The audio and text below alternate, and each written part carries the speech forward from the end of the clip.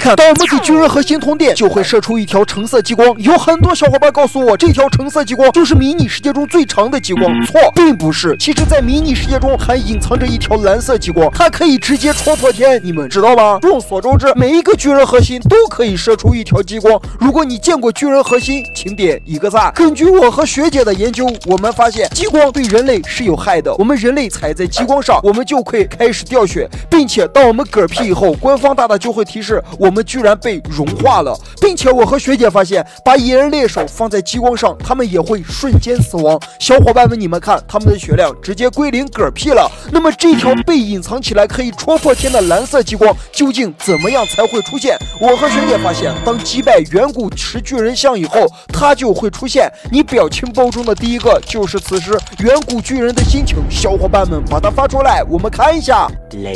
随着我射出最后一支箭，此时远古巨人他嗝屁了。这个时候，小伙伴们，你们看，巨大的蓝色极光它出现了，它可以直接戳破天。所以说，蓝色极光才是迷你世界中最长的极光，因为它直接射穿了天。你们知道了吗？